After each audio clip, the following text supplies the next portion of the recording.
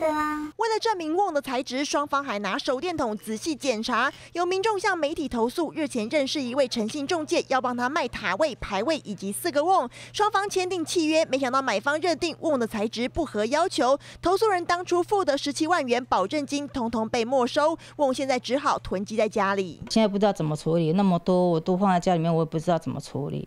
看着桌上的四个骨灰瓮，投诉人拿出当时他买瓮的单据，证明就是赤蓝金玉，但没想到中介却拿出买方的鉴定书，上头写的是黑石玉。他们说我我的东西不齐全，不是他们要的东西呀。他们要的是赤蓝金玉，我给他们是石玉啊。不买了，不买了，那我十七万就被他们拿走了。这个好像是一个诈骗，挖一个坑让我去跳。实际拿样品给专家鉴定，证实就是黑石玉，也表示没听过赤蓝金玉这样的材质。不过契约上要求卖方先付保证金，也有消保官认定并非常理。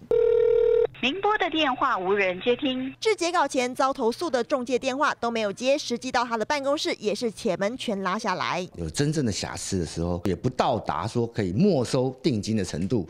瑕疵的时候可以，你可以主张。解除契约，中介找个理由，出卖人的这个定金没收了。